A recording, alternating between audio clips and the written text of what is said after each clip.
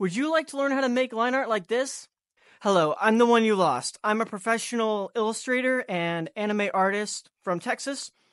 And in this video, I'll be showing you how I made this line art of um, Nanashi Mumei and Ceres Fauna from Hololive. So first thing up is the brush settings I use. I use the regular G pen with these settings on the pen pressure. So you can take note of that, jot it down. Um, I find this helps make the point kind of ramp up in a good way. Um, I also have the stabilization set to 15, and I'm going to show you real quick how to turn stabilization on. So let me go ahead and move this down here. There we go.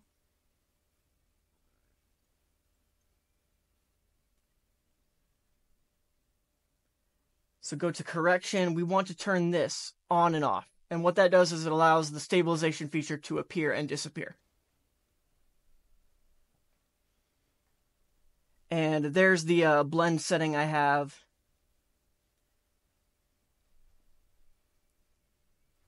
So now we're going for the technique. Um, whenever you are working on line art, you really want to use quick strokes and you want to be using your elbow more than you're using your wrist or your hand because your elbow is a lot more stable. Um, the best way I can describe that is treat your elbow like it's um like it's stuck in place and then move it up and down or side to side. That'll make your lines much more clean and straight. Don't forget your goal is to be confident.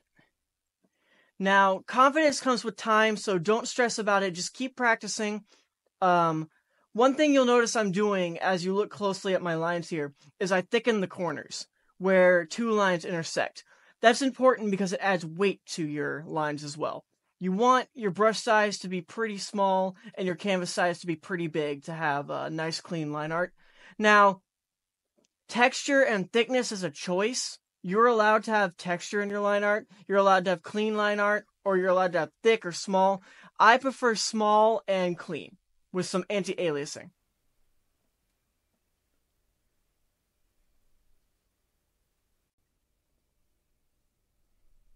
You want to vary your thickness in different areas. Um, it's good to have variety in your line art. Try not to make everything so uniform. I tend to do it, but I also know when to add pen pressure to kind of make it a bit thicker versus not as thick. Um, so also, it's okay to be lazy every now and then, but try to be consistent whenever you work with line art. And again, consistency will come with practice and time.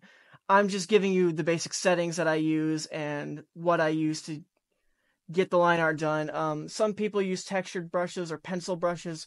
I, like I showed you, just use a regular G pen. You'll see I'm thickening up corners. Again, this is something you need to do. It makes things so much easier.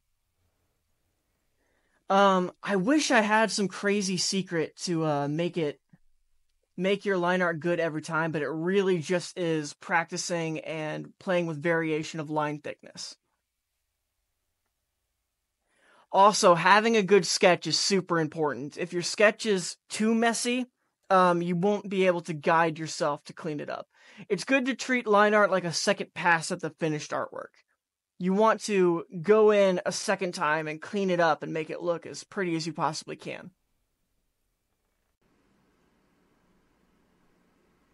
And really that's about it. Um a lot of what makes your artwork look good isn't necessarily the line art but how well you render your shapes and if it looks like it is correct. You can have really good line art and really bad artwork but my goal is just to give you the tools of what you need to have good line art.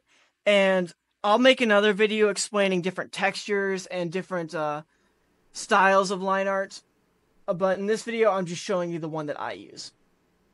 In the end, at the end of the day, what it's going to come down to is you have to make sure the sketch or art you render is good to make the line art look good. And sadly, that's that's about all it is. So I know I probably didn't blow your mind with anything, but if you enjoyed this video, please leave a like, comment, subscribe. It helps.